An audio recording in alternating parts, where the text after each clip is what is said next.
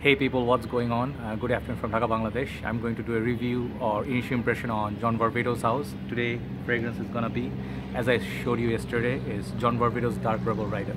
So uh, the winter is about to start in Bangladesh. It's very uh, like shiny and sunny you can see but it's also breezy. So I am up here in the rooftop. Hopefully I can get some coverage before the kids come here start to play. They usually play on the rooftop right? So this fragrance I wanted to get it in last winter but I did not because I had this one I've been using. John Varvatos Dark Rebel the elder brother of it. Very beautiful bottle. I reviewed it. You can see my full-on review. So this is pretty dark and smoky and leathery. So this perfume it's 125 mil like most of John Varvatos. Very very dark cool weather perfume. So uh, I'm gonna show you the other brother today uh, which is beautiful in packaging and smell wise it's also great. So here you can see uh, John Varvatos Dark Rebel uh, Rider. Leather jacket you can tell what kind of fragrance gonna be. So one of the thing the winter is coming slowly so it's not really cold yet but cool breeze starts flowing. Very nice indeed. So 125 ml EDT concentration side like that back looks like that back of the jacket. Up there you find their emblem and then you see some of the information. The bottle is really one of the highlights of this presentation. It really is something you just want in your collection.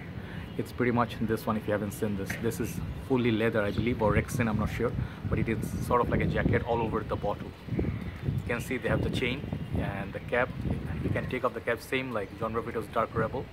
Uh, both of them have uh, what you call uh, detailing in the cap and the atomizer. Inside looks like that. The cap is quite heavy. I believe it feels like ceramic or metal.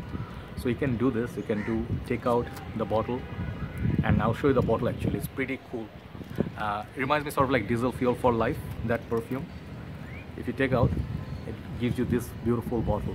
But I'm not sure you can see through for the juice but it's really nice. It looks like a very nice touch for presentation so people with the Harley Davidson bike if you like smoking in the cold weather leather boots this is for you. So what this perfume is all about let me show you the sprayer and talk about it. Uh, the sprayers are very very good and the best thing is you also get 125 ml so people call this uh, sort of like a younger brother of dark rebel. They are very close in terms of smell many people say but i find them a little bit different.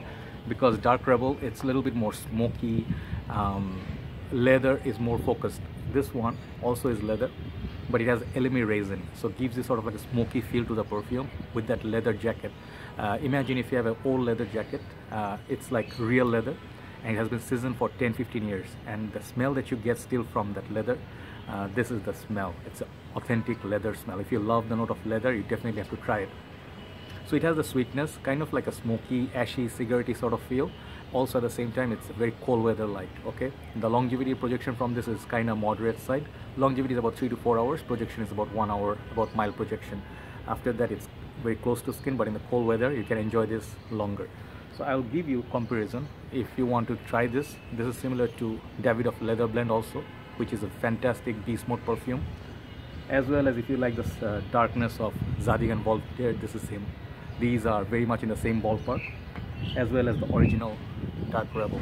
So it depends on you which one you like. This one will give you a little bit more longevity, but both of them are fantastic. So Dark Rebel Rider, it's for people who love the note of leather, like riding bikes, and also like leather-based perfumes. Okay, that's the fragrance. Overall, the fragrance quality-wise, I'm giving it 8.5 out of 10. Definitely a must-try for upcoming winter. I'm gonna rock this in the evening time mostly if I'm going out with a leather jacket that's pretty much Dark Rebel Rider review or initial impression. Take care guys, thanks for watching. I'll be going out for evening walk. See ya, bye bye.